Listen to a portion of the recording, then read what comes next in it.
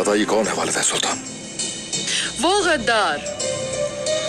असलम दोस्तों आज की किस्त के आगाज़ में दिखाया जाता है कि वालदा सुल्तान करासी साहब के कबीले में आ जाती हैं और उस्मान साहब वालदा सुल्तान से पूछते हैं कि बताएँ उस गद्दार का नाम।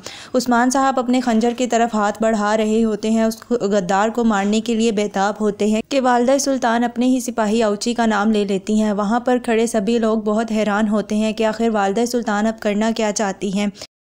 वालदा सुल्तान कहती हैं कि वो गद्दार जो कि इबरतनाक मौत का मुस्तक है उसका नाम आउची है। जब वो ये बात बोलती हैं तो उस्मान साहब और बाइंदर साहब और करासी साहब वहाँ पर खड़े तब सभी सरदार बहुत हैरान हो जाते हैं। क्या पता?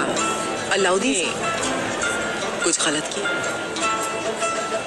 उसके बाद अगले सीन में दिखाया जाता है कि बेंगे खातून अलाउद्दीन पर ही इल्ज़ाम लगा देती हैं और हान की इस हालत का ज़िम्मेदार वो अलाउद्दीन को कहती हैं और वो मलहून खातून को कह रही होती हैं कि अलाउद्दीन अभी छोटा है, वो नादान है। हो सकता है वो किसी की बातों में आ गया हो। ये सब बातें अलाउद्दीन वहाँ पर सुन लेता है और वो बहुत उदास हो जाता है और वहाँ से चला जाता है। बाला खातून जब अलाउद्दीन को देखती हैं तो वो उसके पीछे भागती हैं और मरहून खातून बेंगे खातून को कहती हैं कि बेंगे खातून अपनी ज़बान को लगाम दें। मज़ीद वीडियोज़ के लिए हमारे यूट्यूब चैनल को सब्सक्राइब करें। शुक्रिया।